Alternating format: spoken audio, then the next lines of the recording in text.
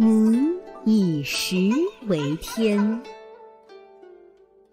秦朝末年，有个书生叫厉义基，很有学问。秦朝灭亡后，他投奔了刘邦，为他出谋划策。刘邦和项羽为争夺天下，一直战争不断。刘邦联合各地反对项羽的力量，聚集了五十多万的大军，攻打项羽在彭城的军队。结果刘邦打了败仗，逃走。彭城一战，刘邦军队损失严重，项羽趁胜追击。刘邦在项羽猛烈的攻击下，退兵到荥阳一带，以守为攻。荥阳西北的鳌山上，有一座秦朝时修建的小城，城内有许多储存粮食的仓库，因此被称为敖仓。敖仓是刘邦领地内最大的粮仓，因此占领这个粮仓对两个军队来说都极为重要。但是。刘邦军队的粮食不多了，人数也远远少于项羽军队，很难再坚持打下去。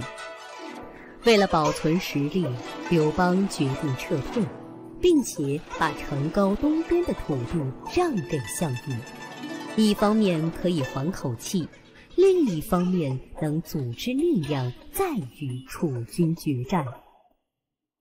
谋士利益基知道了刘邦这个主意，反对说：“做帝王的人靠的是百姓作为他的后盾，百姓则需要粮食，粮食是他们的天，敖仓是储存粮食的地方，而大王你却要放弃它，失去了这么有利的粮仓，将会给我们造成极大的不利呀。”刘邦沉思了一会儿，觉得利益基说的很有道理然，就问他问：“那么按照先生的意思，我应该怎么做呢？”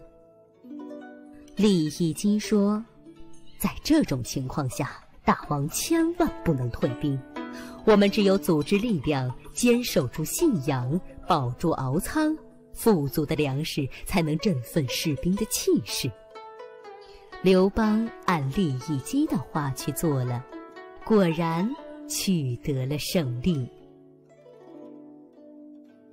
中华成语小课堂：民以食为天。正读：民以食为天。示意百姓把粮食。看作赖以生存的最重要的东西，表示粮食对于民众的重要性。出处：《汉班固《汉书·利益基传》。用法是例：国以民为本，民以食为天。这在哪个朝代都是不容怀疑的真理。